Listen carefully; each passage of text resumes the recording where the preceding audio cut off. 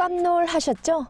중국 남부 지역에 있는 한 동물원이 펭귄 풍선으로 방문객들을 속일 정도로 아주 그냥 너무 똑똑했습니다. 진짜 펭귄이 있다고까지 직접 홍보했나 본데요. 귀산 동물원이 중국 광시성 위린시에서 최근 문을 열었는데요.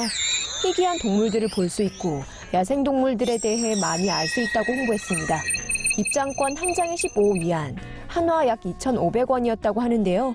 누구나 위린시에 있는 이 첫 동물원에 방문할 수 있습니다. 신이 난 위린 지역 사람들은 카메라를 들고 동물원으로 새떼처럼 모여들었는데요. 고작 수탉이나 거위를 보기 위해 난리친 셈이 되었습니다. 도대체 이게 뭡니까?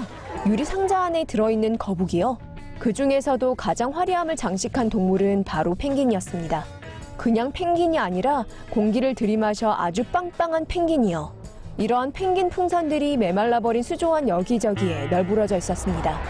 오, 차이나.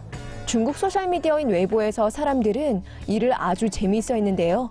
어떤 사람은 모기, 개미, 파리, 그리고 쥐도 저 동물원에 전시하지. 그걸 깜빡했네. 라고 지적했습니다. 그러나 사람들이 이러한 가짜 동물에 대나무 막대기를 여기저기 휘두르듯 어리둥절해진 것은 이번이 처음이 아닙니다. 지난 2013년 허난성의 한 동물원은 티베탄 마스티프라는 개를 아프리카 사자라며 세워두기도 했다고 하네요.